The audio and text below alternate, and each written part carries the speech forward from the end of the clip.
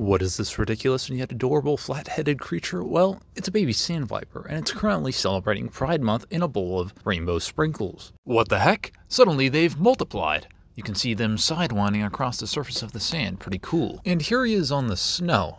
Well, he seems pissed off, not unlike my girlfriend after I give a truthful response to one of her questions. They employ the tactic of hiding from everything and everyone around them, not unlike a father would from his loved ones and family.